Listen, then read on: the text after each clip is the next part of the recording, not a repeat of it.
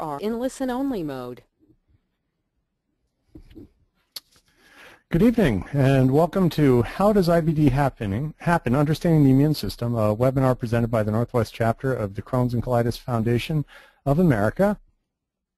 Uh, my name is James Lord and I'll be your presenter tonight. Um, says here I am a gastroenterologist at Virginia Mason Medical Center in Seattle and a researcher at the Ben Benaroya Research Institute, uh, which is where we are broadcasting from tonight and I am a CCFA Northwest Chapter Medical Advisory Committee member and a member of the CCFA Northwest uh, Board of Directors and Mission Committee, so quite happy to be involved with our local chapter of the Crohn's and Colitis Foundation, where our mission is to cure Crohn's disease and ulcerative colitis and to improve the quality of life for children and adults affected by these diseases the CCFA works to achieve the two parts of this mission through funding research and education and support programs to help people living with Crohn's and colitis. Uh, check out ccfa.org to find a reliable disease information and for upcoming events and opportunities to get involved with your local chapter. Now this happens to be uh, Crohn's and Colitis Awareness Week, December 1st through 7th. You can help spread awareness by posting on your social media pages using the hashtag IBD Selfie. See other people's posts and learn more about Awareness Weeks at uh, ccfa.org slash someone you know, all one word. Uh, Take Steps is a community event that brings together patients, family, and friends, and healthcare providers, raise funds and awareness. Uh, find the walk in your community at uh, ccfatakesteps.org. And for those of you looking for more of a workout, um, team Challenge is an endurance training program that provides professional coaching and a supportive team to help you train for an endurance event, run, walk, cycle, triathlon, while you fundraise for cures to Crohn's and colitis. Learn more at uh, ccteamchallenge.org. And uh, I did this a couple of years ago, and I've got to tell you, it was a really um, inspirational event. If you have a question during the program, please type it into the question box on your control panel on the right side of your screen. After the pres presentation, I'll read the questions out loud and answer the ones that I can for everyone to hear. Uh, we'll be recording this presentation. We'll email out the replay link to all registrants once it is ready. Um, I will caution you that uh, there some people have already sent in questions uh, during registration, and some of these questions are so good, I'm really going to be challenged to try and answer them, um, but I will do my best. So now on to the presentation. Uh, tonight I'm going to be talking about how does IBD happen, understanding the immune system, and this is uh, talk near and dear to my heart because uh, I am both a, a, practicing gastroenterologist treating IBD patients, but I also work in this research institution um, studying the immune system um, that I got my PhD in. And so tonight I want to talk about the immune system in general and give everyone kind of a broad background on what the immune system is and then go into some fine detail in terms of how the immune system is really put together and hopefully make some sense out of what's, what's probably kind of a mysterious organ for most people. I'd also like to talk specifically about the gastrointestinal immune system and why I think that this is a particularly fascinating area of immunology and a really important area to understand. And it's obviously of important to, importance to inflammatory bowel disease. And so I'll work in the relevance to IBD throughout the talk and also try and speak specifically about what we know about some aspects of uh, immunology in uh, IBD towards the end of the talk.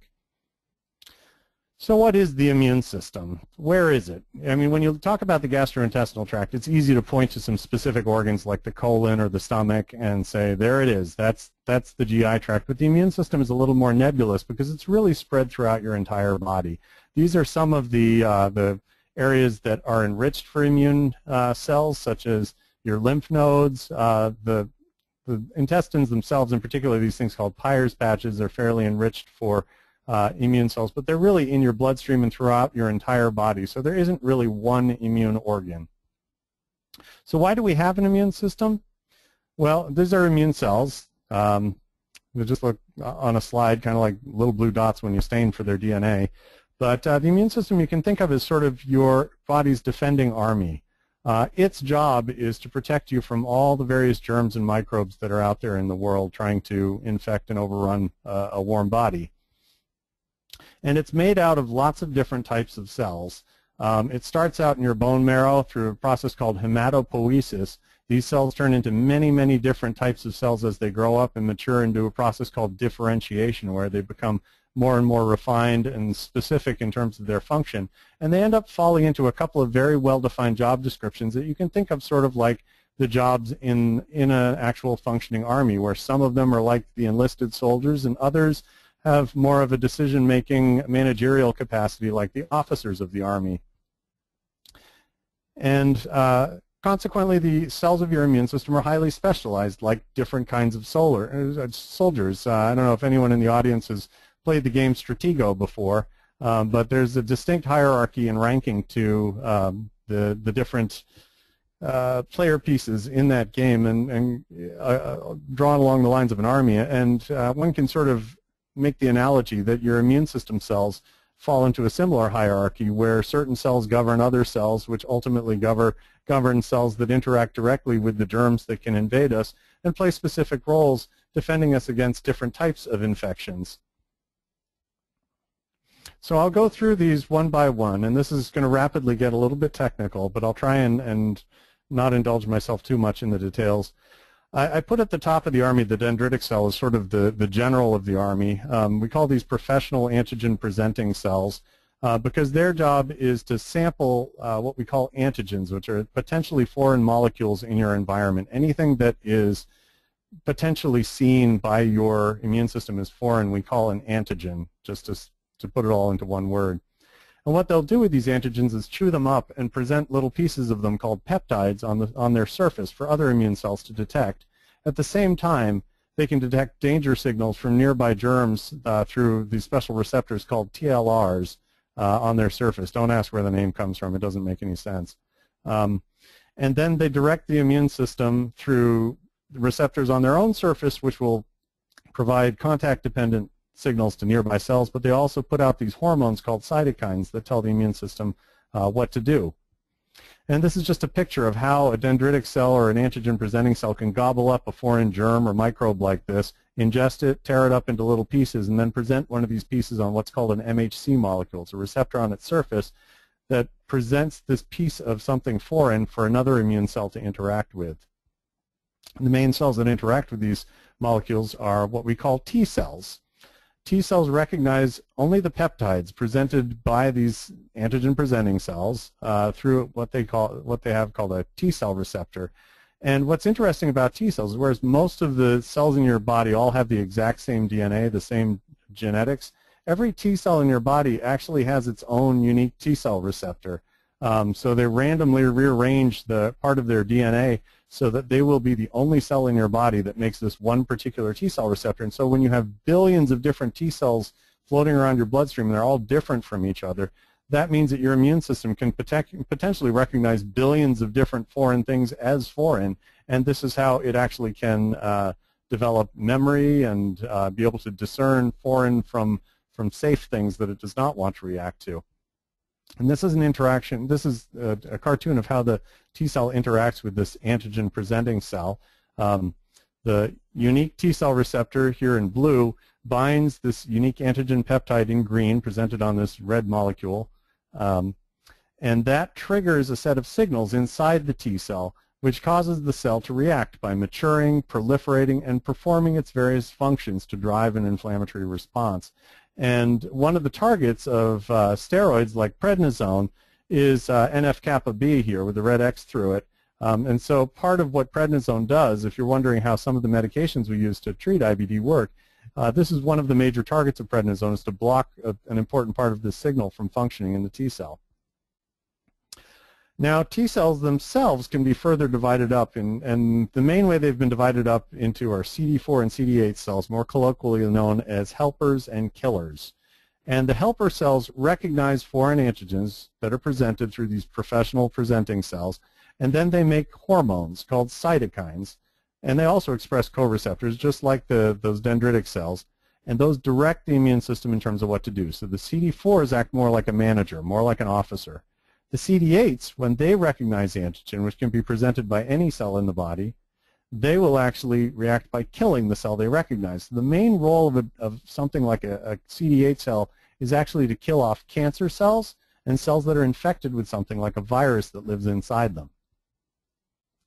So most of our research is actually, well actually I, shouldn't say most of our research, most of, um, oh, there's a lot of research that's been done on CD4 positive cells, Be, in part because these cells are so common. They outnumber the killers by about two to one, and there have been several subtypes described. Um, the ones that have never seen something foreign before we call naive, just like a person who's never really been out in the world experience anything. Uh, these cells start out as naive where they're really undifferentiated. They don't really have a characteristic. They haven't been told to grow up and, and take on a particular profession. Um, and not surprisingly, when you're born, most of your T cells are naive, and by the time you're in your 60s, only a small percent of your T cells will still be naive. So just like your, your brain becomes more and more experienced over the course of your lifetime, your immune system also becomes less and less naive, more and more experienced as you get older. And so these experienced cells we call effector cells, and they can be divided into several different types based upon the types of those cytokine hormones that they produce. So there are what are called Th1 or T helper type 1 cells, which uh, help fight germs that live inside human cells like viruses. There are Th2s, which help fight worms and parasites. And there are Th17s. Uh, they skipped a few numbers here and jumped all the way up to 17, and these seem to be important for fighting bacteria. And so in, the Th1 cells will make cytokines, uh, these hormones called interferon and TNF that tell uh, the various killer cells, natural killer cells, and also those CD8 killer T cells I mentioned, to kill off cells that contain viruses, whereas the Th2 cells cause things like eosinophils and mast cells that make all the histamine that make you itchy when you, when you have a bad rash. These help kill worms and parasites through uh, their own set of hormones. And then the Th17s have yet another set of hormones that bring in the neutrophils, the most uh, common cells in your immune system, basically the foot soldiers of your immune system, not unlike the scouts in Stratego, to kill off the bacteria that uh, could potentially infect you. now, some of you may recognize this one hormone here, TNF-alpha, because this has become a major target for um, inflammatory diseases because as you can see here, sometimes when your immune system, instead of uh, attacking foreign things as wrong, it will actually attack your own body. And depending on the type of immune response you get, you can get different types of inflammatory conditions like rheumatoid arthritis. Uh, this is eczema or atopic dermatitis. And uh, this is Crohn's disease seen through a colonoscope. And these can be mediated by different branches of the immune system. But common to the ones that cause autoimmunity are this TNF uh, hormone, and so some of the drugs we use specifically block just this hormone. Um, these are drugs like infliximab, adalimumab, certolizumab, or golimumab that some of you may recognize. And so these drugs specifically block the pro-inflammatory function of Th1 and Th17 cells while sparing this uh, Th2 type response. So immunity is a balance between immunoregulation and inflammation. If you get too much immunoregulation, you're vulnerable to infection. You, it's like trying to suppress the army in a particular country. If you completely get rid of all military and police, then you have absolute chaos. On the other hand, if you have too much inflammation, then you have the problem that the, the police start um, uh, overreacting to, to the, the public at large. You get inflammation in, in a body if the immune system is hyperactive and it's under-regulated. And so you get a condition called autoimmunity, where the immune army attacks its own host. This is not unlike a civil war, where you have uh, uh, an army attacking its own citizens. And there are many, many different forms of autoimmunity depending on which organs the immune system uh, randomly starts attacking. And these include the inflammatory bowel diseases, Crohn's disease, and ulcerative colitis. So there are many safety checks that exist to try and regulate the immune system. For example, when we develop um, self-reactive cells, cells that would turn on us and, um, and react against our own body, the immune system has organs like the thymus where some of these cells can actually be deleted, so you specifically select and destroy the cells that could cause the most harm. There are also special molecules your immune system uses to turn down an immune response. Receptors like CTLA-4 shown here or uh, some of those immune hormones, cytokines like IL-10 that can turn off an immune response. And finally, there are cells that act kind of like the military police in your, in your immune army to try and control any sort of um, inappropriate activity of your immune system attacking your own body. And one of the most important ones of these that's come to light recently is the regulatory T cell. Uh, these are critical regulators of the immune system. They are CD4 positive T cells, remember, so they fit in that helper T cell class I mentioned. And like any T cell, uh, or I'm sorry, they're a minority of your, your total T cell population. So most of your T cells are not regulatory T cells. Now, remember, when an antigen-presenting cell shows up and presents antigen to a T cell, normally what it will do is stimulate inflammation by secreting those special signals like cytokines and hormones that cause other cells to activate, but also these cells will divide and make clones of themselves to become much more uh, populous and, and amplify the immune reaction.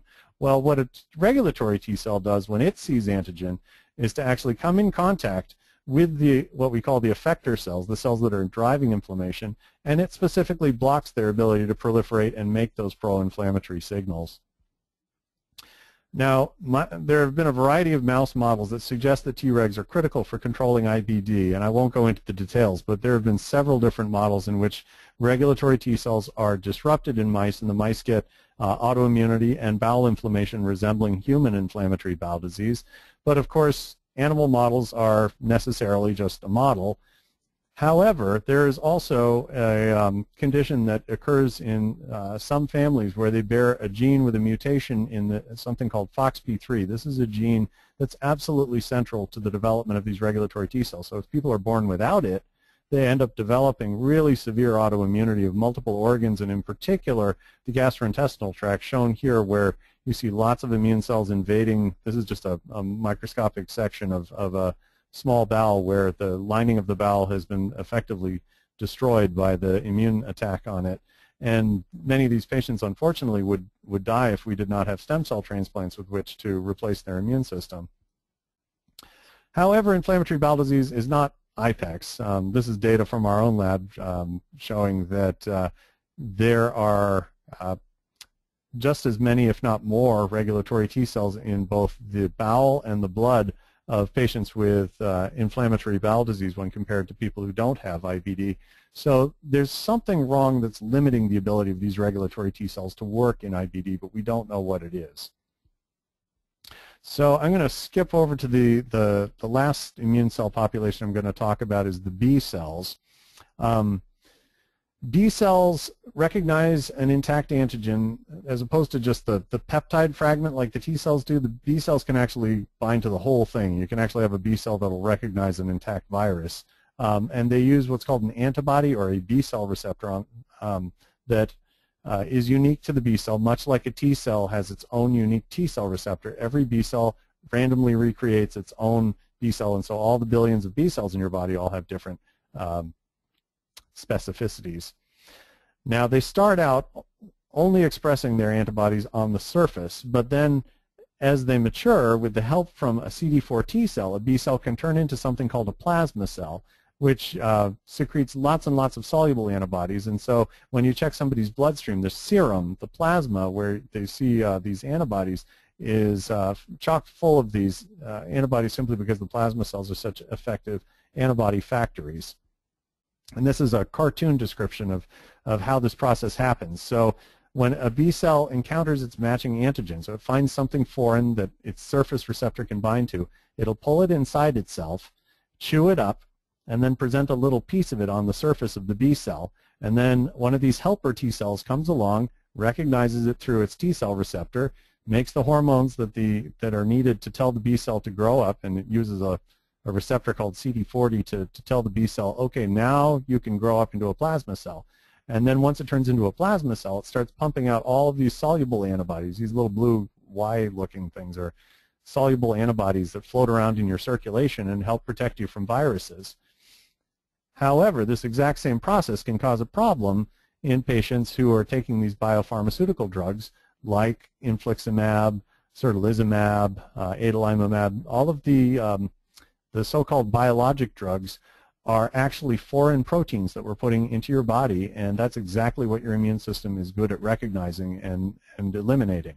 And so just like a piece of a virus can be recognized and internalized by a B cell, this drug can be brought into a B cell, chewed up, presented on, on a cell, helped by a T cell, and then you can have these B cells that are pumping out lots and lots of soluble antibodies that can interfere with the ability of these biological drugs uh, to uh, help control your inflammatory bowel disease because first of all, they will clear the drug much more quickly so your blood levels get really low.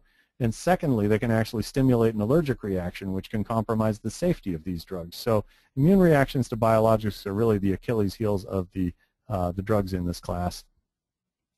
Uh, there is a way that we can reduce the likelihood that you'll have problems with these antibodies, um, and the main one that's, that uh, has been validated is using drugs in a class called thiopurine. This includes the azathioprine drug Imuran, the 6-mercaptopurine or 6-MP drug purinethol, um, and you can see in a couple of very large clinical trials, uh, for Crohn's it was called SONIC, for ulcerative colitis it was called SUCCESS, that patients who got either infliximab alone or infliximab with azathioprine, the rates of antibody formation were dramatically lower in the patients who uh, were co-administered azathioprine. So there was about a 15% drop in antibody formation, and surprisingly enough, using these two drugs together is about 15% more effective than using them alone.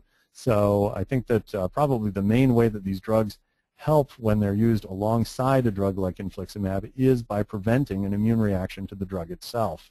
Um, and this is some more work that just came out last week in my lab um, that shows that when people are on these drugs, these thiopurine drugs, uh, they have considerably fewer B cells circulating in their bloodstream than patients on no thiopurine. Remember, B cells are where antibodies come from, so perhaps it's this reduction in your B cells that's uh, causing the body to tolerate the uh, biologic drugs like infliximab so much better when people are using thiopurines at the same time.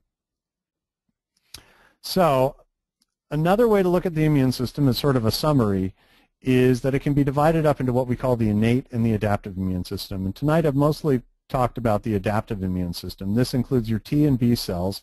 Uh, interestingly, this form of the immune system is present only in vertebrates. Worms don't have T and B cells. Lobsters don't have T and B cells. Um, and it relies on random chance and selection but it's able to learn from its environment and it retains a memory of prior exposures. And that's why vaccines work in people. If you give somebody a vaccine now, six months from now, they probably still will mount what we call an amnestic response where they'll, they'll be able to briskly mount a strong immune reaction to protect them from a virus in the future. This wouldn't work in a lobster. You can't vaccinate lobsters. Lobsters only have an innate immune system, which is the rest of your immune cells. Um, they are present in nearly all animals, and there's actually a primitive version of them in plants, but they're fixed and non-random, so they can't really adapt, hence the name. And they have no memory of prior exposures. So your immune system, in reality, is a complex interplay between these two arms of the immune system that's happening all the time. But now I'm going to change subjects and uh, start talking about the gastrointestinal tract, the other job I have. Now the gut is an interesting organ and it's hard to think of uh, a, an animal that doesn't have at least some form of a gastrointestinal tract because unlike plants, animals all thrive upon the ability to bring nutrients in from their environment. So the gut is the portal through which nutrients enter into your body. It's an absolutely necessary part of, uh, of your physiology.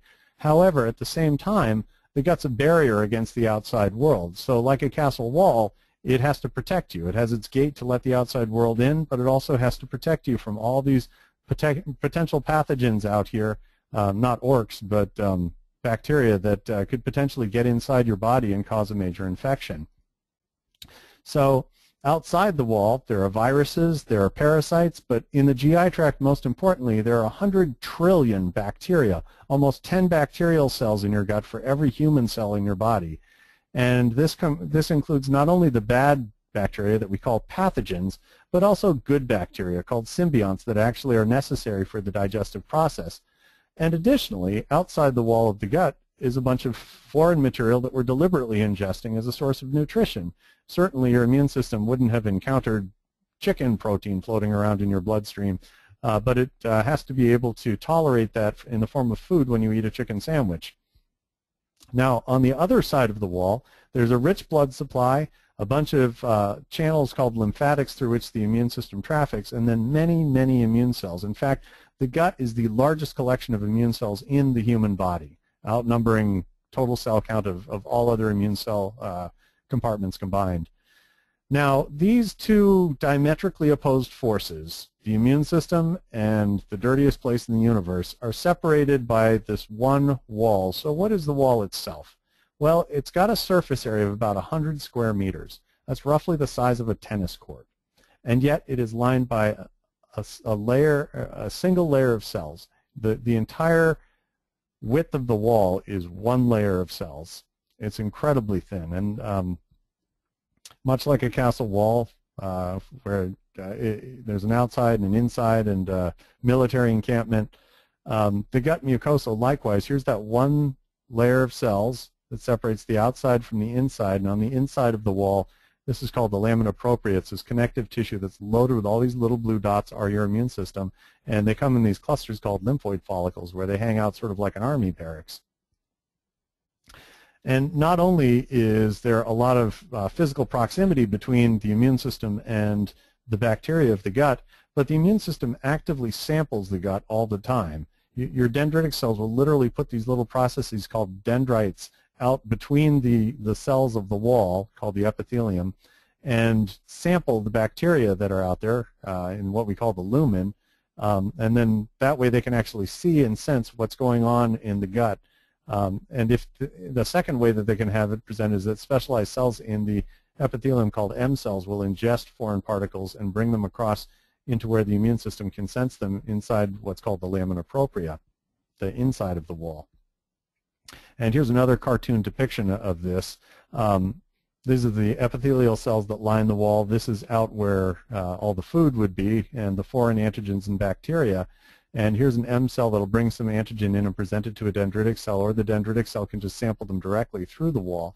When the dendritic cell encounters this foreign material, it can either present it locally to immune cells that are right nearby it in the, uh, this is basically an immune follicle under the wall, that army barracks I was talking about, or it can travel through what are called lymphatics back to a lymph node. A lymph node is sort of like the headquarters for your immune system.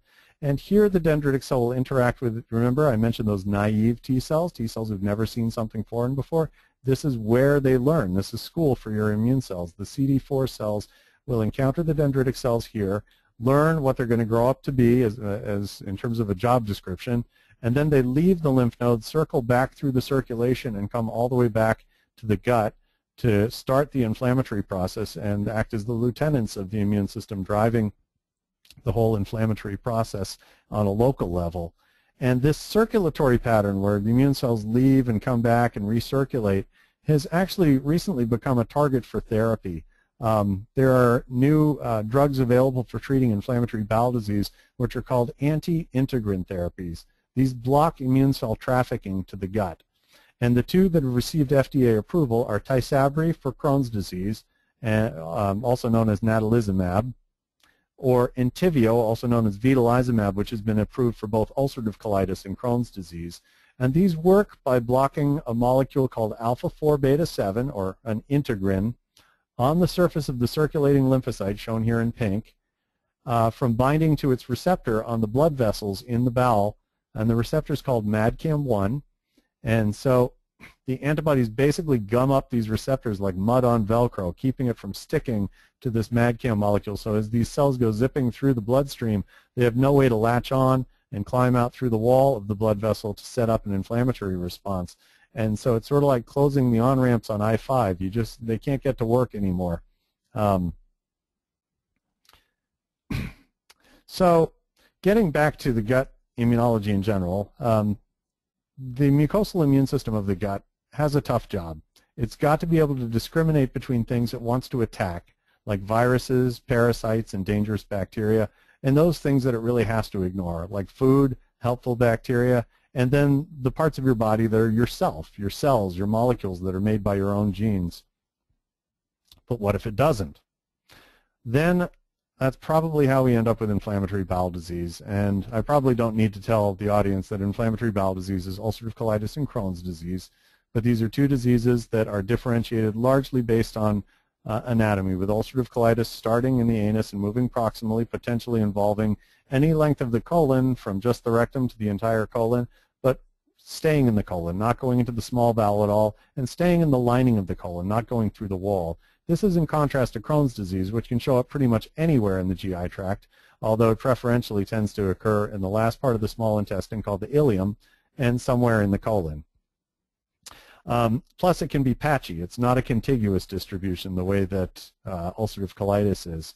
Furthermore, it's not limited to the wall of the bowel. It can go right through the wall and create these burrowing tunnels called fistulas that can either link two hollow organs together or can lead to the skin through the abdominal wall or around the anus is one of the more common places where fistulas can occur.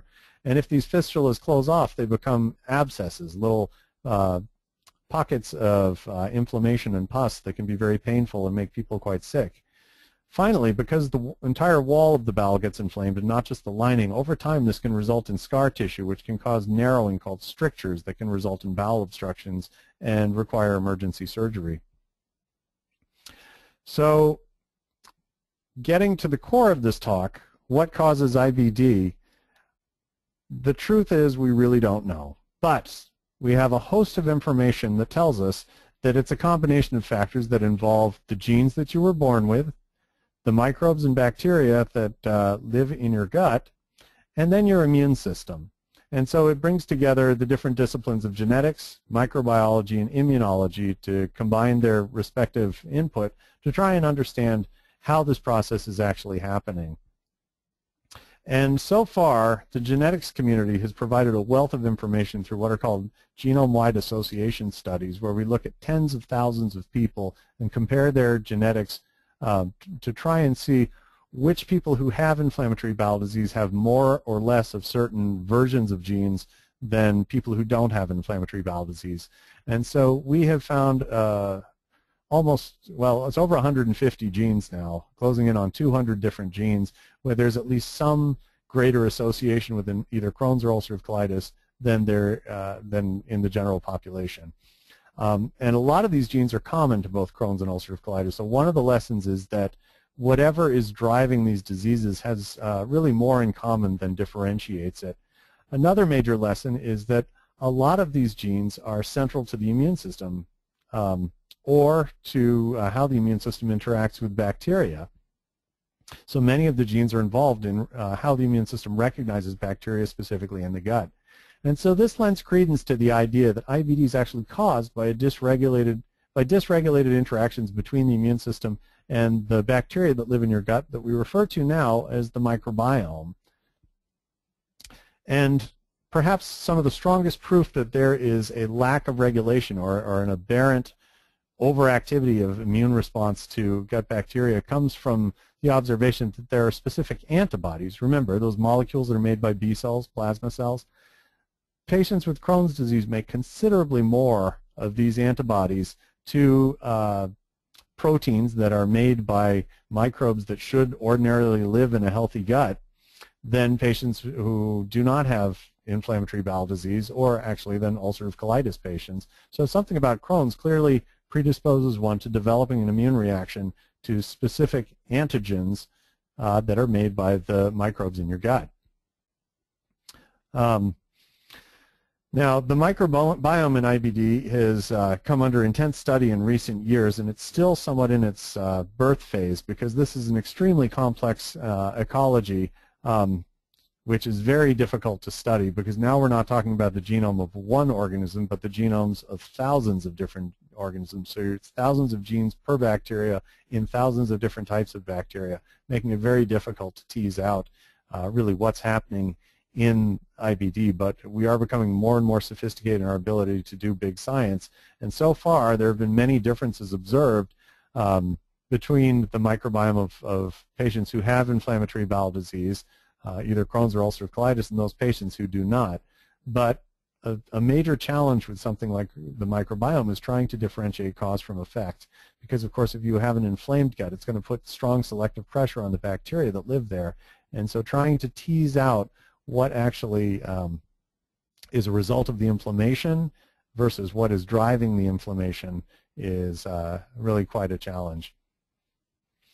But um, to address these questions in humans, you typically need something called a, a, clinical trial, where you are deliberately introducing something new in in somebody's life and seeing if it has a beneficial effect. And so there have been efforts to deliberately change the microbiome in IBD by what's called a fecal microbiome transplant, or FMT. This is basically putting someone else's fecal bacteria into a patient's colon. And unfortunately, so far, most of the trials uh, in adults, uh, which have been done in ulcerative colitis, have been fairly disappointing. It looks like, at least in adults, the microbiome fairly quickly returns to its pre-transplant characteristics. So it's really quite difficult to alter the uh, microbiome that a person already has. And of course, if the microbiome goes back to um, the way it was before, not surprisingly, the ulcerative colitis typically goes right back to how it was before. And usually you don't even see much of an improvement. Um, it's a great treatment for Clostridium difficile colitis, an infection, but so far in ulcerative colitis, it hasn't really worked very well. Now, there has been some early experience here in Seattle uh, in pediatric Crohn's disease, which may be a little bit more hopeful, but uh, it's still very early. We're talking about small, uncontrolled trials at this point. So there isn't really compelling evidence that this has been an effective therapy, but um, there's optimism that potentially uh, fecal transplant may uh, produce some, some useful uh, benefit in Crohn's disease or perhaps in children um, where perhaps the immune system is less ingrained or the microbiome is less ingrained. On the flip side, there have been efforts to change the immune system as a potential cure for inflammatory bowel disease. Um, there's something called a hematopoietic cell transplant where you basically replace the bone marrow stem cells from which all of your immune cells are made and consequently replace the entire immune system. The bulk of this research has actually been done with what are called autologous stem cell transplant where the, the stem cell donor is oneself. So you're basically taking your immune your, the precursor to your immune system out, wiping out all the immune system in your body, and then putting your own immune system back in. So you get all the same genes that you were ever born with. Um, but it is sort of a reset button for your immune system because all of those B cells and T cells that randomly generate the receptors have to start over. And so far, this has shown at least okay efficacy in controlling Crohn's disease, but there has been uh, relapse associated with it. So it's, uh, it's not necessarily a cure.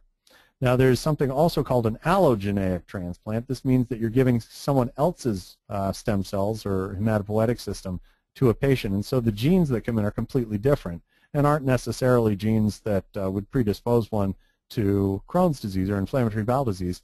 Um, and there have been case reports, situations where patients with Crohn's disease happen to get a stem cell transplant for something like leukemia.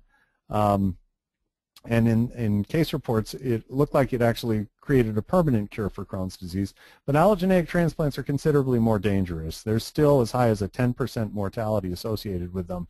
And so this would only be reasonable in the most dire of circumstances for treating Crohn's disease.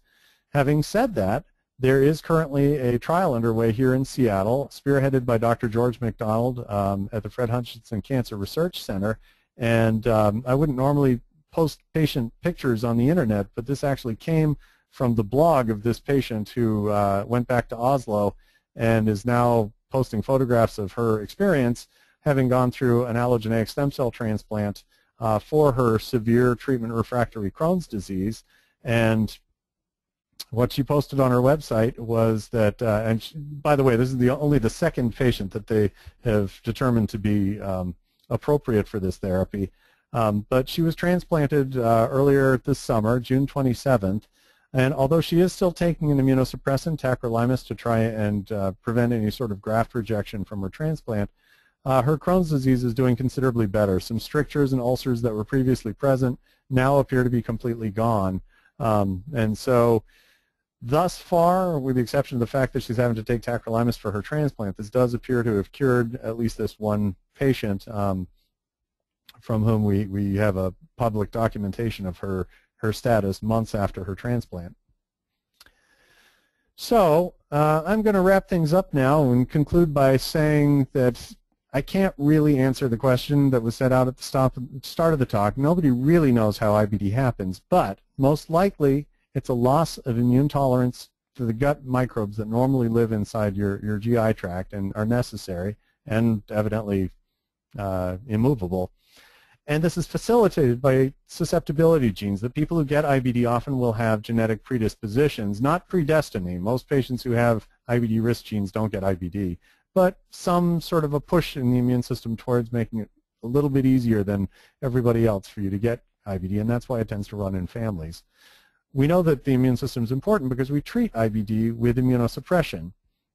Now, the therapies that permanently change the immune system may hold promise for a cure, but at this point, uh, our goals of therapy, what's really been proven in clinical trials, is geared more towards um, uh, maintaining remission in chronic therapy uh, than cure. But the research is ongoing, and that's one of the reasons why it's so important to have an organization like the Crohn's and Colitis Foundation of America dedicated to uh, bringing us something more than a chronic treatment for inflammatory bowel disease. So thank you for attending, and um, at this point I'm going to start looking through our questions file here and see what I can do to answer some of these questions. So let's see, on the live webinar, and, uh, and please feel free to continue writing uh, questions at this point if you uh, want to type in your questions while I'm talking. Um, but somebody, oh, somebody I know, thanks for joining us tonight, um, asks, uh, do you foresee the development of subcategories of Crohn's disease and ulcerative colitis diagnoses based off patient responses to different medications resulting from different immune system phenotypes? Um, there is a lot of interest, particularly um, in the biotech community, for trying to subcategorize inflammatory bowel disease in terms of what will or won't respond to certain types of therapies. Most of these efforts actually haven't been terribly successful. We do know that patients who have lots of those different antibodies um, that I mentioned, like OMPC, CBir1, ASCA, um, patients who have a lot of different uh, serologic antibodies uh, associated with inflammatory, well, with Crohn's disease, tend to have a more severe course. They, they have a higher likelihood of ultimately needing surgery. And so that has sort of been used as a sliding scale to sort of predict what's uh, going to be important for driving inflammatory bowel disease. But there hasn't really been a great marker to say, yes, this patient will respond to an anti-TNF therapy or, or this one won't. There aren't really any markers out there, despite a lot of effort to try and define them, that, that make it easy to pick out who the people are who are going to respond to certain therapies and who aren't. Um, there's a dream to create tailored medical therapy, but uh, I don't think it's really been realized yet.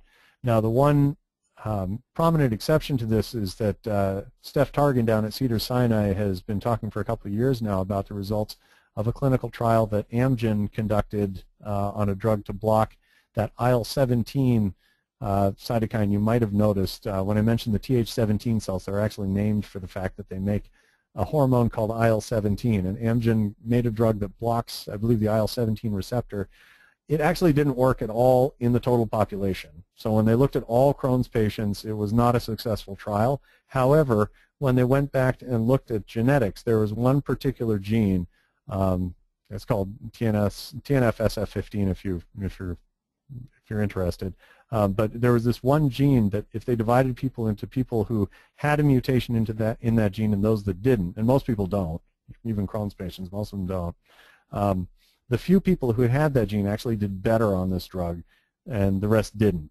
So it may be that there are certain genetic predispositions to inflammatory bowel disease that may have predictive merit, but so far it hasn't been clear with the TNF therapies at least that uh, that, that, that's very useful to try and predict who will and won't respond. Um, so far, we're largely subcategorizing Crohn's and ulcerative colitis based upon how they behave clinically, like who um, who develops fistulas and strictures, is it limited to the rectum, does it go throughout the colon? So we, we basically just described the disease in terms of, of how it behaves and, and what we can literally see instead of looking for what we call biomarkers to serve as a surrogate um, for just a physical description of the, of the disease. So the next question, uh, can a person go on and off mercaptopurine without any ill effect, or do they need to stay on mercaptopurine? This is in conjunction with infliximab. Well, infliximab, so to flip it around, infliximab, it actually is hazardous to start and stop the drug, to, to take the drug, stop taking it for a while, come back a few months later and take it again. I mean, if you go more than two or three months uh, without taking any infliximab, you do start to see an increasing chance that you could develop that immune reaction I talked about, where you start making antibodies to infliximab or other biologics like adalimumab or, or, or uh, certolizumab. Um, That's not true for a drug like mercaptopurine or azathioprine. These are small organic molecules. They're not proteins. And so the immune system actually does not do a very good job of, of attacking and destroying them. So you don't really have to worry about them causing an immune reaction the way you do with the biologic drugs.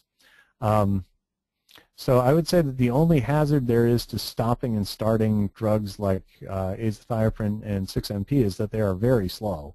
Uh, it can take a couple of weeks for them to wash out of your system, and it generally takes about three or four months for them to build up in your system again to the point where they're going to actually be useful.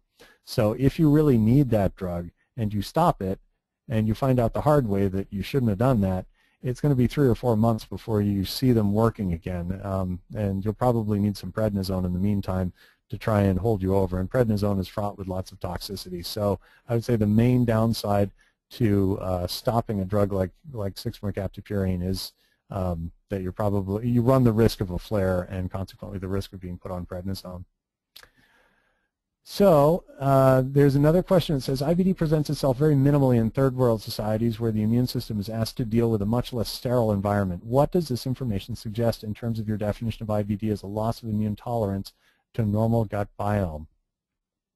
Well, I like to say, and this is what we call the hygiene hypothesis, that uh, it, it, reminds me of the saying, idle hands are the devil's playthings, that um, it's sort of like if the immune system has nothing better to do, it starts to attack your own body for want of having a worthy opponent to fight. Um, I don't know, maybe this works into that, that military analogy I was making, but probably on a more material level, it gets back to this slide where I was talking about the different types of microbes that your T cells can respond to. And remember that there's a subclass uh, called a Th2 cell which um, is, here we are. So the Th2 cell is the one cell I showed that does not actually have anything to do with autoimmunity. It does promote allergy and atopic conditions like asthma, um, but uh, it is an immune response that's markedly heightened when you're infected with a parasite or a worm, what we call a helminth. Um, and worm infections in developed countries have become extremely rare, but they're still profoundly common in developing worlds. Uh, so it may be less to do with just how dirty it is in general and more to do with how uh, common worm infest infestations are in a particular environment.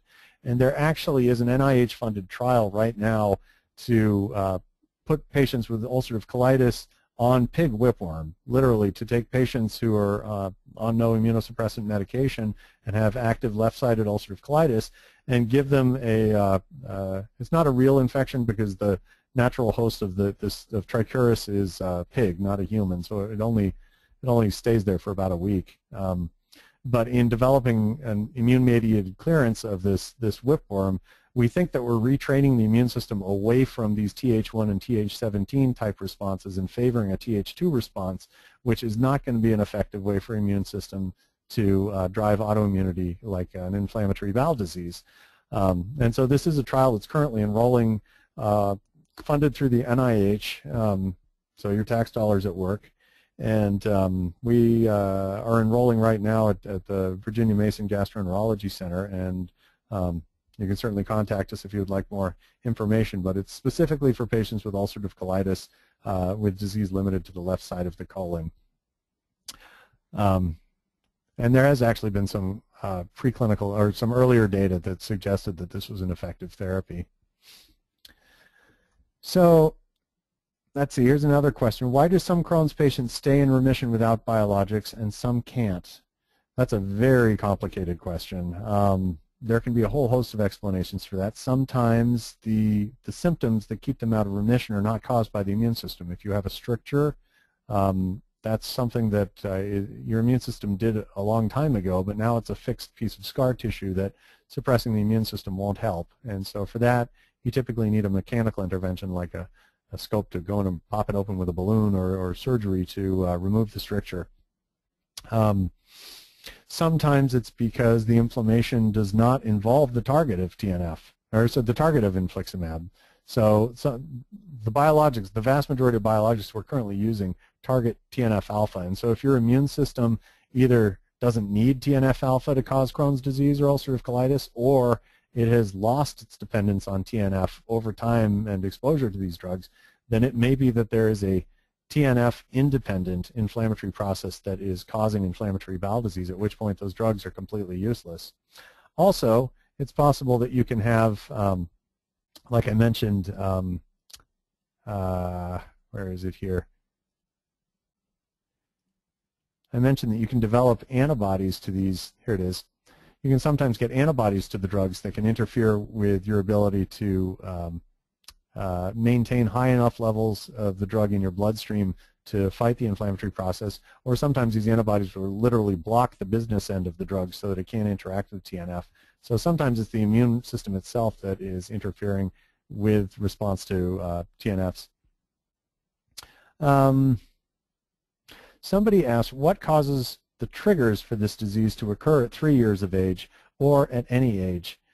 Well, um, I'm not a pediatrician, so I have to I have to uh, give the disclaimer that I'm not a master of, of early onset inflammatory bowel disease necessarily, but um, there have been uh, clearly some certain genes that occur in very young patients with inflammatory bowel disease that seem to interfere with the regulation of the immune system much more than others. So some people, for example, let's see if it's on here, uh, children who are born with a defect in the receptor for IL-10 right here develop a very severe form of Crohn's disease that occurs very early in age. Um, so sometimes the genes that we're born with make it just so much easier for the immune system to lose control that it, happens really early in life. Uh, whereas other people who may have uh, either less severe genetic issues or have fewer uh, genetic predispositions for inflammatory bowel disease uh, may go much later into life before something triggers the immune system to slip up and lose regulation in the gut and start to attack. This is my best guess for what really differentiates early onset inflammatory bowel disease uh, from what happens later in life, but that probably only explains the a few of the patients in some of the more severe cases. Uh, in many situations, it may simply be uh, some random events such as an environmental exposure or maybe a subclinical infection that simply triggers the wrong T cell at the wrong time to set off an immune response that normally should have been shut down. Um, let's see. There were a couple of people who asked kind of about recommendations for weaning off of immunosuppressive medications once one is in remission. And this is something that comes up a lot in clinic. It's, it's really not that closely related to what we're talking about today, but um, it is a very important topic. We talked about um, a lot of different uh, therapies for inflammatory bowel disease, but really the mainstay of therapy, um, particularly for Crohn's disease, now appears to be using two drugs together, the biologic and the immunomodulator like azathioprine at the same time. So for example, infliximab and azathioprine at the same time has really become the mainstay of therapy in part to prevent this immunoreactivity that tends to occur when you use the biologic alone. Um, so the question is, if you're started on two drugs, do you really have to stay on two drugs forever? There were two major studies that really addressed this question from different directions. So the earlier of these was written by a guy named Van Assche um, at least half a decade ago. And he took a bunch of patients who were on um, azathioprine and infliximab and randomized them. They'd, they'd all been in deep remission, just totally asymptomatic with no signs of inflammation for at least six months before randomization. And then he split the group in half. Half of them he just left them on two drugs, said keep taking these drugs. The other half he swapped out their azathioprine for a placebo and he watched them for another two years. And what he saw was that the rates of relapse was were exactly the same between the two populations. So the people who took two drugs had just as high a likelihood of failing their, their infliximab as the patients who were on infliximab by itself. Now, one difference is that the patients who were just on infliximab did have a higher inflammatory marker called C-reactive protein, which may mean that if they'd watched them for another year or two, they would have seen a difference between those populations, but at least during the first two years, the, the length of the study, it did not appear that, that uh, azathioprine was, was really all that critical once they'd been in deep remission on infliximab for at least six months, and in many cases more than 12 months. Um, my guess is what happens is that over time your immune system gets tolerized to the infliximab being in your body. So maybe at first it recognizes it as foreign, and maybe at first you can block your B cells with, with azathioprine from causing this immune reaction. But once the drug has been sitting around in your body for 6 or 12 months, your body starts to think of it as family. It, it just doesn't recognize it as being a foreign thing anymore. And so you no longer need the uh, azathioprine to um, reduce your B cell count and um, and prevent you from mount, mounting an immune reaction to the drug. Now the flip side of this was a trial called STORI, S-T-O-R-I, uh, which was done in Europe. And in this, it wasn't randomized. Everybody got treated the same way. And so they took a bunch of patients who had now been in stable remission for a year on dual therapy, and they stopped the anti-TNF. And then they kept watching those patients for another three years. And what they saw was about half the patients uh, had a relapse within that three-year period, usually sometime in the first years. The majority of the relapses were all in the first of those three years. But over the course of three years, almost exactly half of the patients um, had at least some breakthrough flare in their IBD. So I guess this is sort of a glass half empty, half full situation. You Either the patients um, really got, uh, uh, half of the patients didn't need a thiopurine or half of the patients uh, should never have stopped it in the first place. But the good news was that in that half that relapsed, they were able to restart Remicade in pretty much everybody. Um, there was essentially no development of antibodies to it provided the patients continued on the azathioprine by itself. So it is rolling the dice. Um, it's a flip of the coin, uh, I guess more than a roll of the dice as to whether you uh, uh, will ultimately need dual therapy or not in that situation. But as long as you keep taking the immunomodulator, it looks like uh, your your uh, long-term response uh, your ability to, to, to, restart the infliximab is not compromised. Looks like a few more questions have come in through the computer since I've been talking away here. Does pediatric Crohn's indicate that a patient will have a more severe course of disease? Not necessarily. Um, so the uh, you have more time in which to develop uh, the complications from Crohn's disease in particular, like strictures and fistulas. Um, but it's actually it can be difficult to predict what the course of disease is um, long term. Uh, so again, I'll, I'll, say I'm not an expert on pediatrics, um, but it does seem that in my adult populations, uh, particularly with ulcerative colitis, once patients have been in stable remission for 10, 20 years, it seems almost like the disease kind of burns itself out and becomes relatively easy to control at that point. And so I would say the, the earlier your onset is, by the time you get to my clinic, the longer you have had disease. And so I actually see people with fairly early onset IBD who um, have a, a, fairly stable course uh, by the time they show up in my clinic. Um, so here's uh, a patient asking for some clinical advice. I'm in clinical remission from moderate distal ulcerative colitis and I'm taking mesalamine. Would you advise tapering slowly off the meds? I have already stopped the suppository and am watching what I eat. A modified SCD diet works well for me. What would the tapering look like? Um, I generally don't recommend that people stop uh, aminosalicylates for ulcerative colitis because not only do these drugs work very safely and reasonably effectively uh, for long-term maintenance uh, for ulcerative colitis, but there is some data to suggest that they may also help prevent colon cancer. A patient with ulcerative colitis, unless it's limited just to the rectum, what we call proctitis, patients with ulcerative colitis are eventually, over the course of their lives, going to have a higher incidence of developing colon cancer than everybody else. So um, we can cut that risk. Some, some reports say by as much as twofold if you continue taking at least 1.6 grams a day of mesalamine indefinitely um, now, rectal therapies are no fun, and so um, I, if you've already stopped the suppository and, and, are doing fine, then I would say that's fine. Usually when I, I if somebody has um, more than proctitis, I'll usually use the enema of mesalamine, and I am not terribly successful at convincing people to do that for more than about a month. Um, it's perfectly safe if you want to use it long term, but it's it's just a difficult therapy to, to maintain indefinitely. So I usually tell people try it for at least a month, see if you can get yourself under control, and if you can, then we can switch you over to or or drop the enema and maintain you on an oral therapy of mesalamine. And I will typically start people at 4.8 grams a day, depending on what type of mesalamine you're using, Lialda or Asacol or, or what, that, that'll be a different number of pills. It'll be a lot of pills um, because you need a fair amount of volume to get that much mesalamine to coat your colon. Um, but after six months of deep remission, I usually tell people they can drop down to about 2.4 grams a day. And that's where I typically leave them to try and maintain remission indefinitely. If they're one of these cases I mentioned earlier where they've been in deep remission for decades and the disease is kind of burned out, at that point I might drop them to 1.6 grams a day just to prevent colon cancer. Um, but I typically don't recommend coming completely off the medication. There really isn't a downside to, to taking them in terms of your health.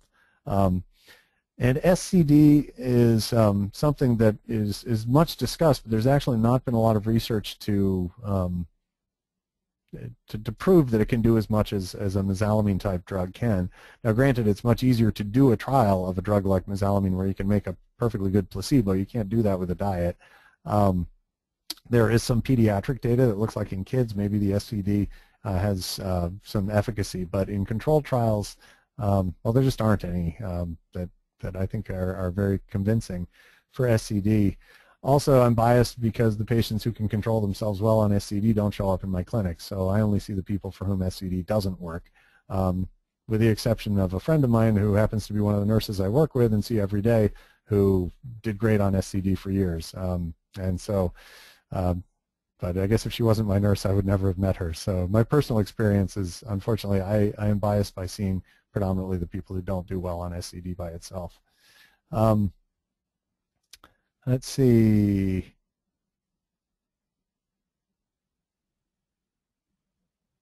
Somebody just wrote that they can't hear me anymore. Hmm.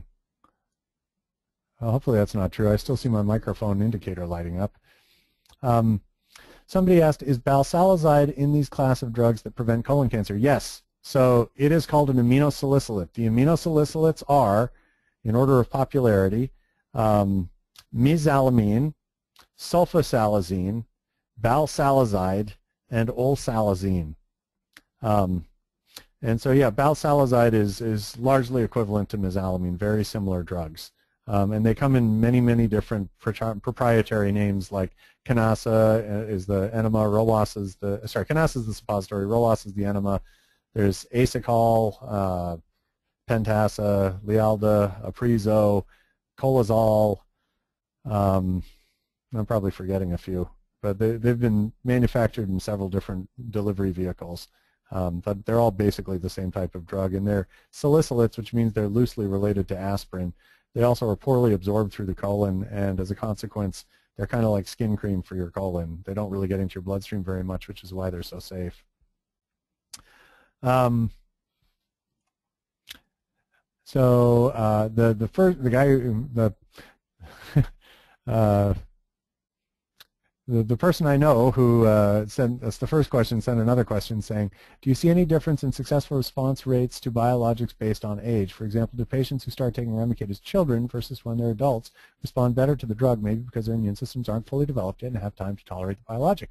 That's actually a really interesting observation because there is evidence that the rate of response in, uh, to anti-TNF therapy in pediatrics is much higher than it is in adults.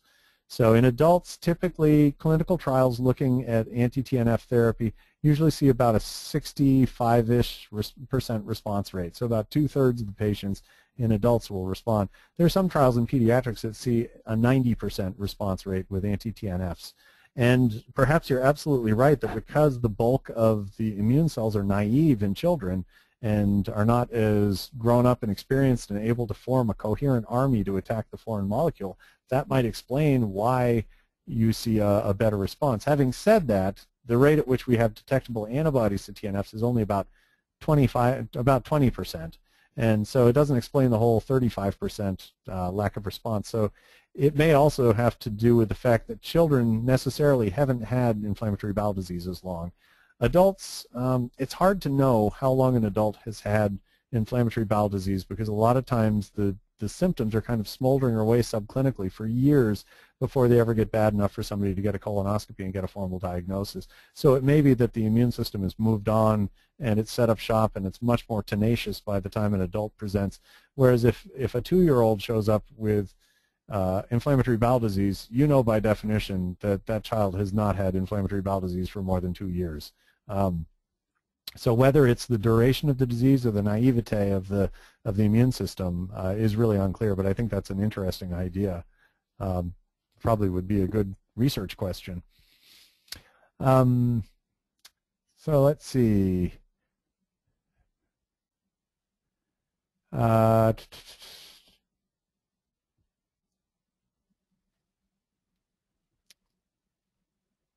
so somebody asked, is the higher incidence of colon cancer in IBD patients caused by the mechanical physical damage or is it rooted in the genetics and immunological matrix? Um, I don't think it's genetics um, because um, we don't see so a lot of the genes that show up in the, the, the IBD studies are not genes that have shown up in colon cancer risk genes. There are genetic uh, defects that are closely associated with colon cancer, but none of them are highlighted in the genetic studies that uh, showed up in IBD. Um, I'm not entirely sure what you mean by immunological matrix, but the immune system uh, presumably does have a role in uh, facilitating colon cancer and IBD, and it could be that it's it's distracted. That one of the roles of the immune system, uh, I kind of briefly glanced on, like with with killer T cells, is that it does help prevent cancer by killing off cells as they turn into tumors.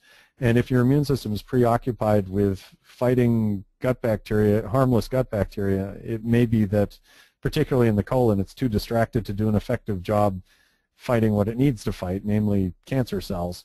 Um, so that's one possibility. It could also be that a lot of the neutrophils that uh, uh, that drive the inflammatory process in inflammatory bowel disease put out a lot of what are called reactive oxygen species that do a lot of damage to DNA.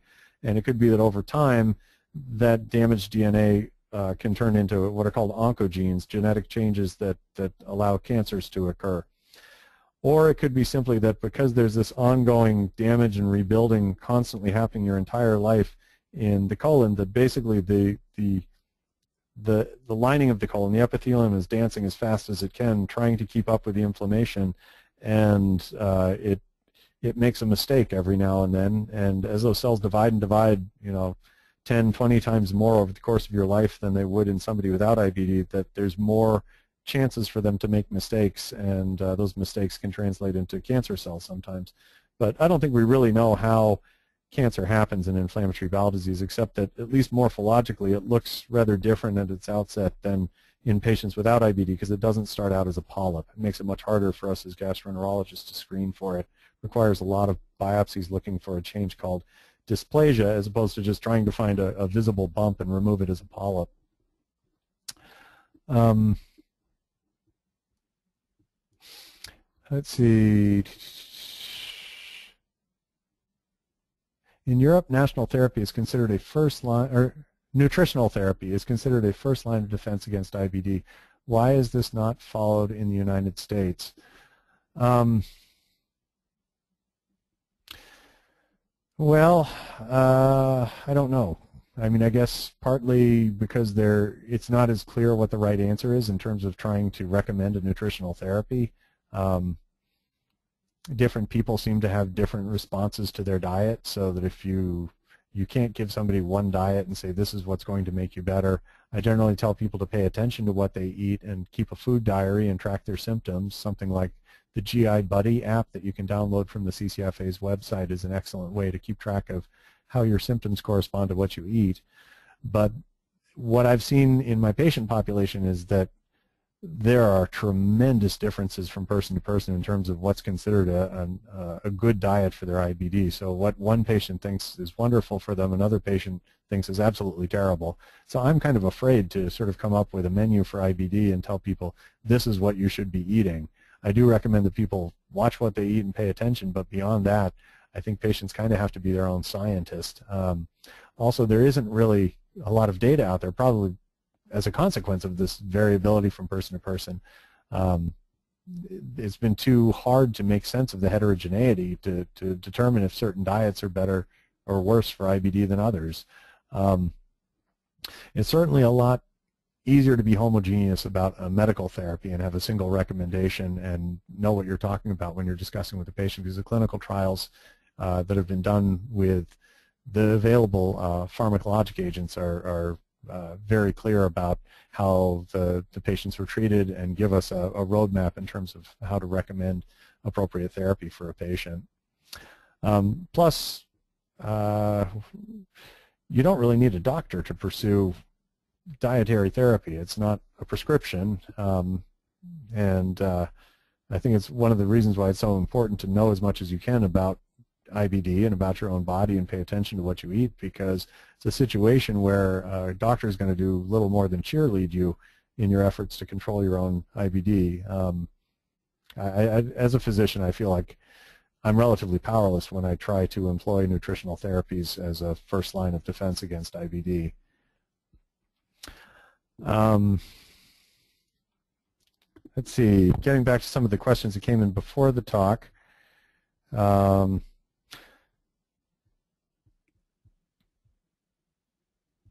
the only cure for this disease is the removal of your colon, must be ulcerative colitis. In the future, do you think we will be able to discover a cure other than colon removal or drug therapies like biologics or immune suppressants? Um, I wouldn't be doing IBD research if I didn't think that a cure was a realistic possibility.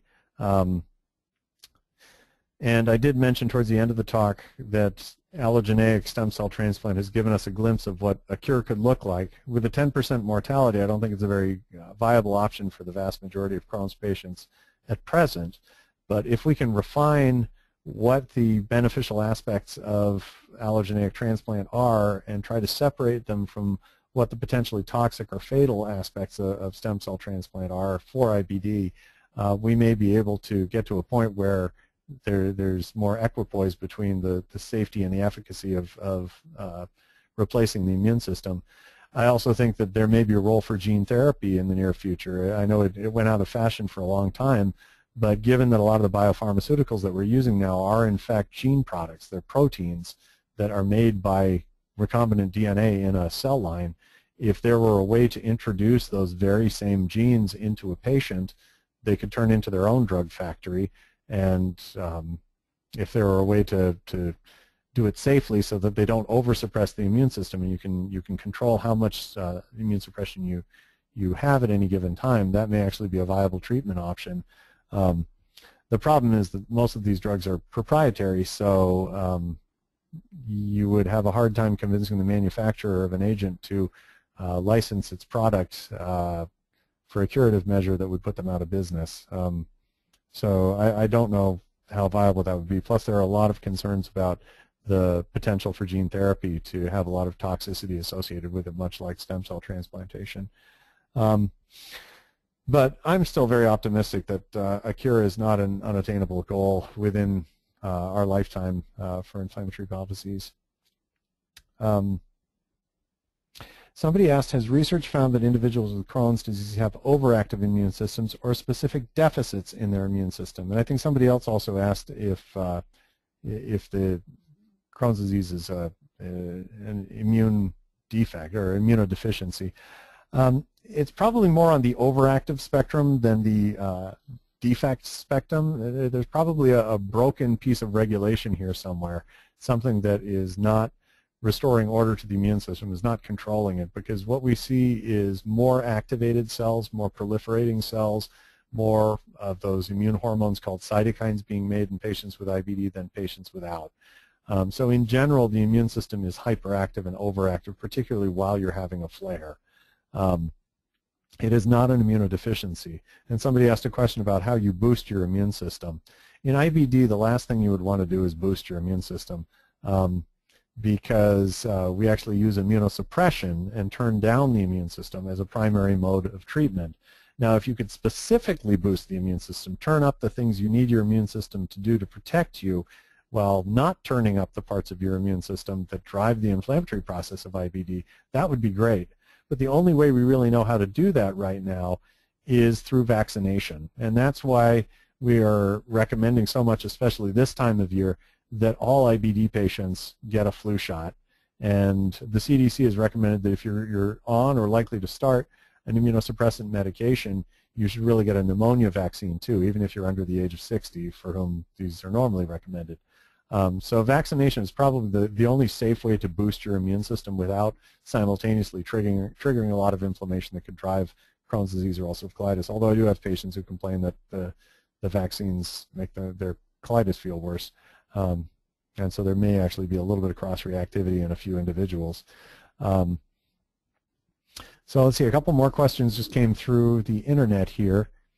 Do you see a time when every IBD patient will have their genome sequenced and analyzed and compared to the population as a whole to better elucidate genetic causes and or relationships? And how helpful do you think this would be? Um, I should point out that the genetic uh, disturbances that have been associated with IBD have what's called an odds ratio. Um, in other words, that how much does having this, this particular sequence in your DNA make you more likely to have IBD than than somebody who doesn't have it. Most of these odds ratios are less than 2. So like 1 point, sometimes 1.2, 1.3, 1.4, really low odds ratios. So a single genetic defect does almost nothing to tell you whether or not you're, you're going to get a disease that affects well below 1% of the general population. Um, and so far, when people have taken this huge amount of information that now exists on tens of thousands of individuals with IBD and tried to correlate it with um, clinical responses, it hasn't really proved uh, proven to show a magic combination of genes that tells us, yes, your IBD is going to do that, or you fall into this category or that category.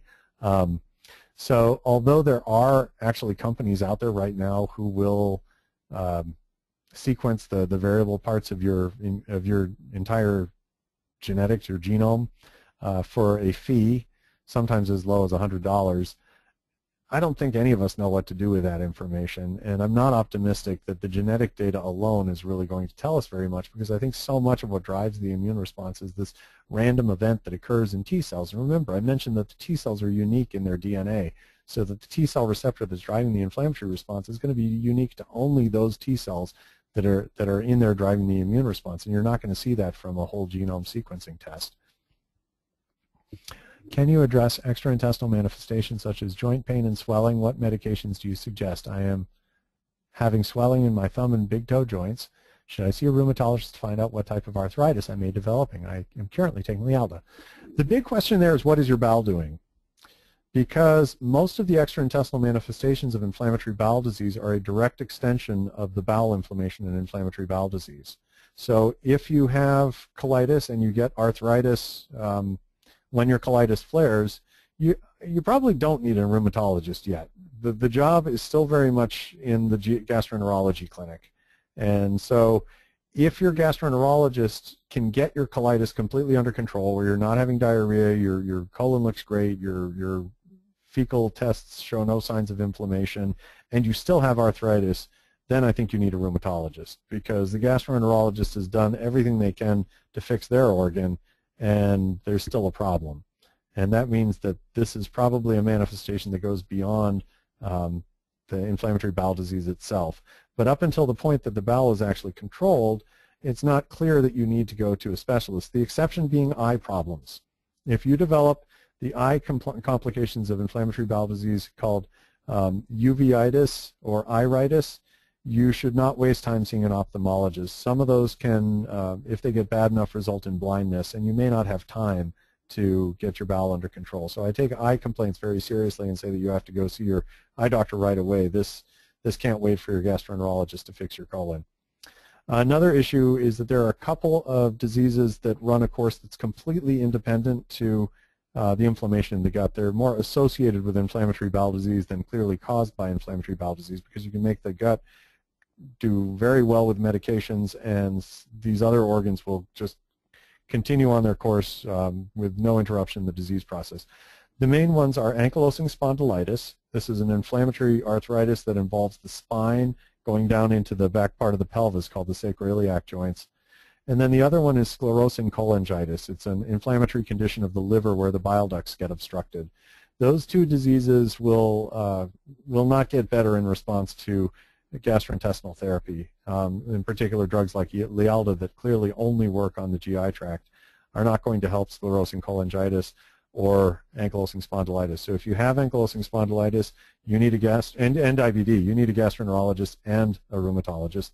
If you have sclerosing cholangitis and uh, inflammatory bowel disease, you either need a gastroenterologist who's much better at liver disease than I am, or you need a gastroenterologist who's very comfortable with IBD and a hepatologist who's very comfortable with liver uh, inflammatory liver diseases. Um, so that typically involves co-management for those two conditions. Most of the other conditions, though, will respond to uh, therapy for the gut. And arthritis is not like the eye complaints. It's something that uh, you have time to get the gut under control. So let's see, if I missed a few here. Every two to three years of having a colonoscopy, they occasionally find polyps. Is this a big concern or a normal thing that occurs? Well, it depends on what kinds of polyps and how old you are. So it's not uncommon for patients with chronic colitis, chronic inflammation of the colon to develop what are called inflammatory pseudopolyps, where over time when you have constant inflammation and regeneration of the, the bowel lining, the mucosa, it tends to lump up into these folds that have kind of a distinctive look to them, but they they can look a lot like a conventional colon polyp, and because we're trained to, to take polyps off, uh, we tend to remove them, if, but a lot of times there's too many to remove. These are totally benign. They have absolutely nothing to do with anything except they make it really hard to find real polyps if there are hundreds of them, which there often are. Uh, so inflammatory pseudopolyps are not a, a, risk factor for cancer. They just make it really hard to screen you for colon cancer um, through a colonoscope.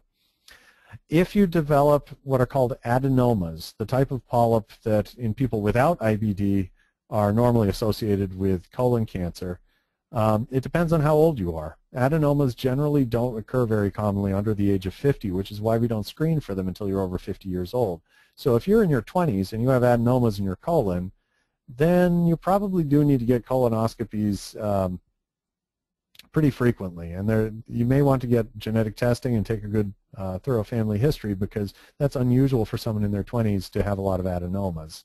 Um, the older you get, the more ordinary it is, and IBD patients can develop garden variety polyps in their colons just like people without IBD. So if you're 60 and you've got a couple of polyps, you're entitled to that. That doesn't mean that you're really at increased risk for, for colon cancer, but sometimes you'll see something like a polyp show up in a patient with inflammatory bowel disease where if we take biopsies down around the normal looking mucosa nearby the polyp, we will see what's called dysplasia or changes that look like colon cancer. In that case, uh, there is a pretty high chance that you could develop colon cancer. Um, so your question is actually pretty complicated. Um, and uh, I can't really offer a, a, single answer that will, will uh, satisfy everybody in terms of whether or not you need to worry about polyps and inflammatory bowel disease.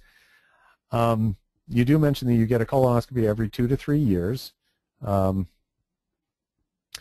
and uh, there are there's somewhat of a consensus in terms of, of um, when IBD patients should get uh, screening colonoscopies or surveillance colonoscopies to look for colon cancer. Uh, it's clearer for ulcerative colitis than Crohn's. If if you have ulcerative colitis, the big question is how much of the colon is involved. If it's just the rectum, ulcerative proctitis, you don't actually need colonoscopy specifically for colon cancer screening um, until you turn 50, just like everyone else. Um, if you have ulcerative colitis that's limited to the left side of the colon, you don't need to start getting colonoscopies for cancer screening until you've had disease for uh, 15 years, and you only need to get the colonoscopy every two to three years. If the entire colon is involved, we recommend that you uh, get a colonoscopy uh, 8 to 10 years after your initial diagnosis and then every year thereafter. If you have a condition called sclerosing cholangitis, that liver condition I mentioned, uh, your risk of colon cancer is actually higher than anybody else with IBD. And so you should start getting a colonoscopy every year starting right away. As soon as we know you have both colitis and PSC, you should get annual colonoscopies. In Crohn's disease, it's less clear. If less than 30% of the colon is involved, if less than 30% of the surface area of the lining of the colon is involved with Crohn's disease, it's not clear that you need any sort of colon cancer screening. But if more than 30% is involved, we usually treat it like ulcerative colitis and just sort of guess, is this akin to the entire colon being involved? Is this akin to uh, just half the colon being involved? uh, and then uh, mirror the recommendations that I just said. Uh, let's see.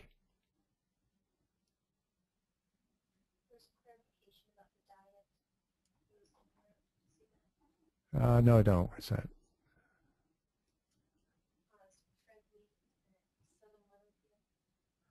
Oh, here it says, by nutrition therapy I was referring to the use of peptide supplemental nutrition. So this is somebody who asked earlier about um, nutritional therapy in Europe.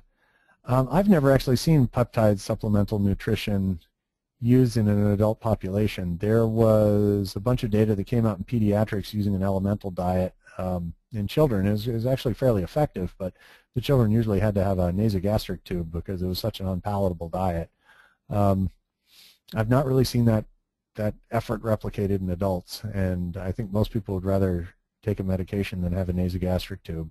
Um, but no, I have to I have to plead ignorance here that uh, peptide supplemental nutrition is something that I know very little about and uh, have not actually seen in practice in the United States. So if it's common in Europe, uh, uh I think uh, I just learned something tonight. Um, yeah, that's news to me. Okay. Let me go back to a couple more of the questions that came in before we started talking. Um,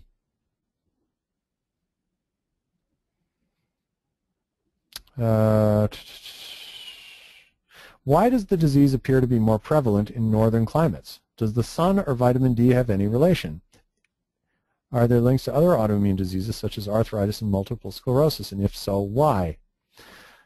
Well, that's a really good question. Um, it is true that the inflammatory bowel disease tends to be more common the closer you get to the poles, provided uh, you're in a genetically susceptible population. So Europeans seem to, and Europeans and Ashkenazi Jews seem to be uh, have the, the genetic background with the highest likelihood of developing inflammatory bowel disease. So countries where that's a predominance of the population, like Canada and New Zealand, that are close to um, the, the poles have, have, the highest incidence of inflammatory bowel disease on Earth.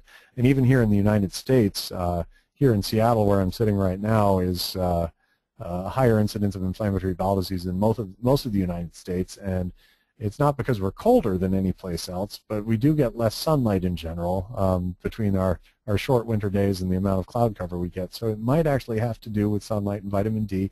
And there was a study that looked at all the different counties in France or I guess we, they call them provinces, um, and looked at the meteorologic, meteorologic records and lined them up with the uh, incidence rates for, for inflammatory bowel disease, and they actually saw a really nice correlation between how much sunlight they got and uh, how likely they were to, or not likely they were to, to get inflammatory bowel disease.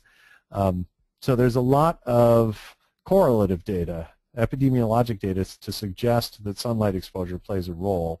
Um, and vitamin D may play a role too. Uh, there tends to be a lower uh, level of vitamin D in a lot of Crohn's patients, but that may simply be because the terminal ileum where vitamin D is absorbed is often diseased in Crohn's disease, and so it's harder for your GI tract to get enough vitamin D into your body. So here's a situation where it's quite difficult to tease out cause and effect based upon at least the vitamin D level.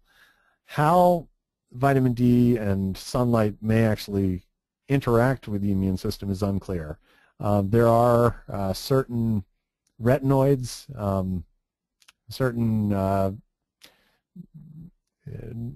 micronutrients that do seem to uh, impact the development of immune cells in the lymph nodes that drain from the mucosa.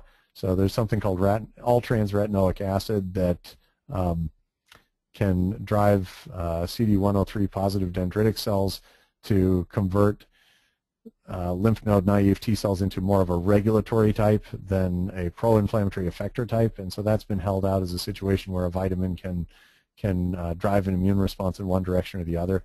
There's also this new class of immune cells I'm really interested in called MAIT cells that seem to respond to uh, riboflavin metabolites that are created by the bacteria in your gut, but so far there's only one paper looking at them in inflammatory bowel disease with uh, almost no information about the gut. So um, it's an area that I think needs further exploration.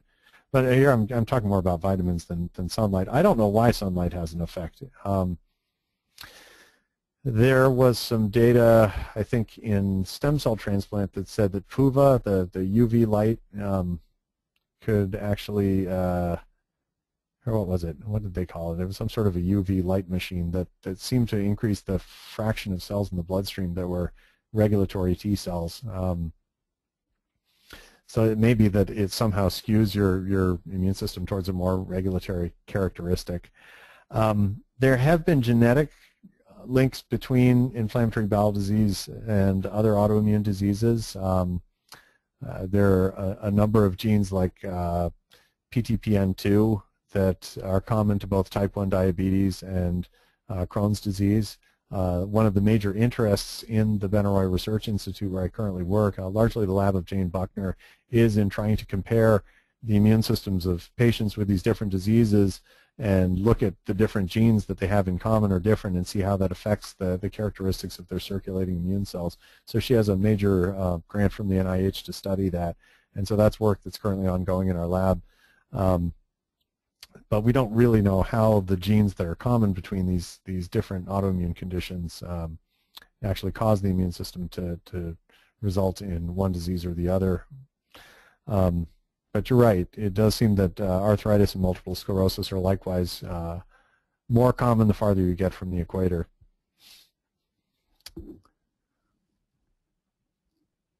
So I think we're we're reaching the end of our time here. It's now 7:31 p.m. I'm about a minute over, and so I want to thank everybody who's held out here towards the to the bitter end, and I appreciate all your great questions. There's some really thoughtful ideas that were were put out there tonight. And I hope that everybody learned at least a little something about the immune system and the gut. And uh, I hope I was able to convey some of uh, my excitement and passion for why I think this is such an important area for research. And again, offer my thanks to the CCFA for making tonight's uh, talk possible and more importantly, uh, for making this type of research possible and uh, committing to the type of research that's really necessary to move forward towards a real cure for inflammatory bowel disease. So thank you all very much, and uh, good night.